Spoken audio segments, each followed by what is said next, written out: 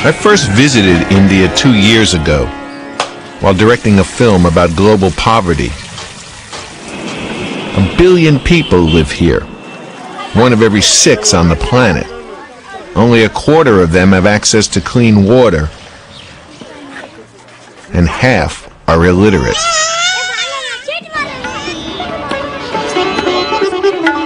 In a New Delhi slum, I came across an unusual scene a computer embedded in a wall. It was surrounded by children. Turns out the computer was put here by the company next door, NIIT. While India suffers extreme poverty, it is also home to some of the world's most advanced high technology firms. Dr. Sugata Mitra is head of research and development here. For years, his passion has been educating poor children. Removing what is increasingly being called the digital divide is an important issue, which means that everyone must have access. In 1999, Mitra launched an experiment that came to be known as the hole in the wall. He connected a high-speed computer to the internet and placed it in the wall that separates his firm's headquarters from the adjacent slum. Then, he watched who began to use it. Curious kids were immediately drawn to the computer. So when they said, can we touch it? I said, it's on your side of the wall. So the rules say whatever is on their side of the wall they can touch. So they touched it.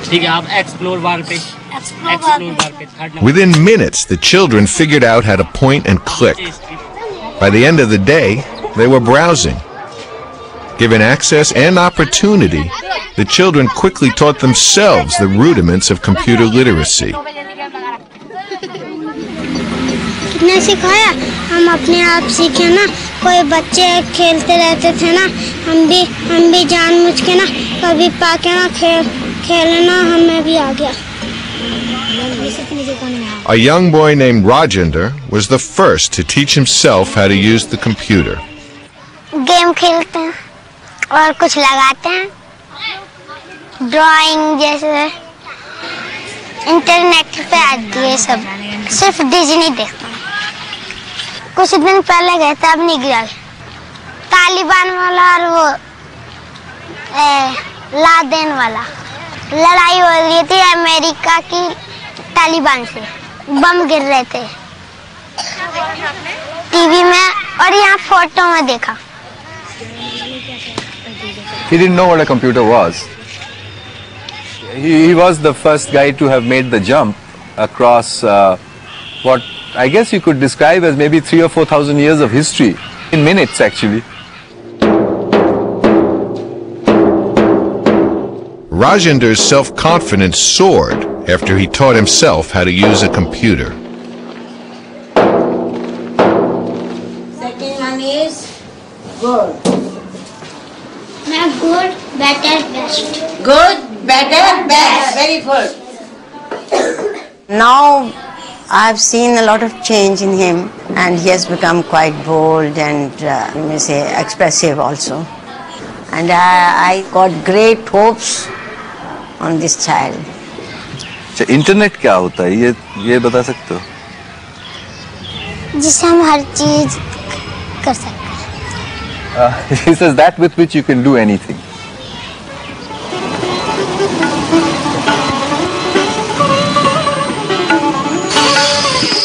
By the time I returned to India this year, Mitra had already replicated his experiment in several other settings.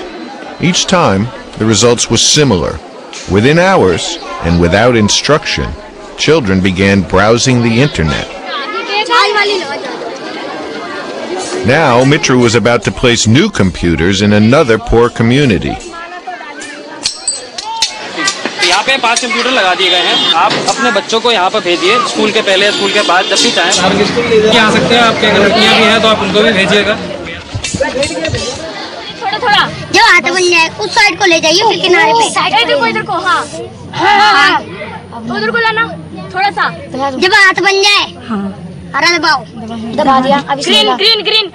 Green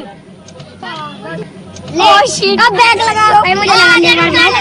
दीदी को ले जाता। In a society where only one in three females can read, Mitra's experiment is a way for girls to overcome barriers. One schoolgirl named Anjana seemed especially enthusiastic. आज तो मैं पहली बार आई थी तो अब मैं चाहती हूँ कि इस चीज़ में मेरे को नॉलेज आज आप पहली बार आए आपको कैसा लगा मुझे बहुत अच्छा फील हुआ कितना अच्छा फील हुआ बहुत बहुत तो आपको मन करता they reinvent even the terms because nobody taught them the words. So they don't don't call a cursor a cursor. They call it a sui, which is Hindi for needle, and they don't call the hourglass symbol the hourglass symbol because they never seen an hourglass before. They call it the damru, which is Shiva's drum, and it does look a bit like that.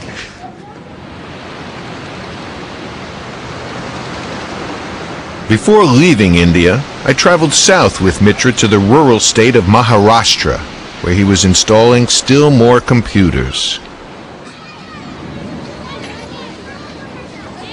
These computers are going to be powerful, they're going to be connected, and they're going to be uh, free, entirely free, uh, without any restrictions on their usage. तुमच्यापैकी किती जणांनी internet बद्दल ऐकलंय काय असं आहे ते internet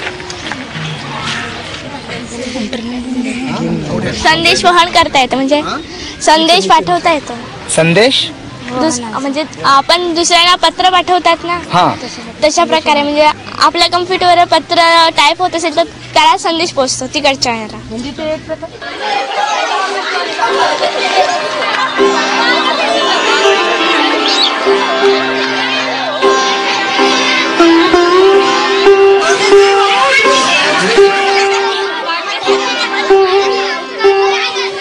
I don't even want to guess at what computer literacy might do to children, except to say that if cyberspace is considered a place, then there are people who are already in it and people who are not in it.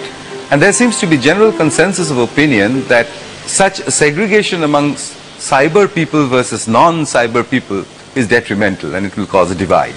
If that is the case, then I think the hole in the wall gives us a method to create a door, if you like, through which large numbers of children can rush into this new arena. And when that happens, it would have changed our society forever.